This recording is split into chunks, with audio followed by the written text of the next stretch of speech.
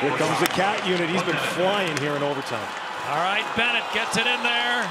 Bennett a shot. He scores! Florida wins. Sam Bennett, the revelation since the trade deadline. He scores his 11th point in eight games as a Florida Panther.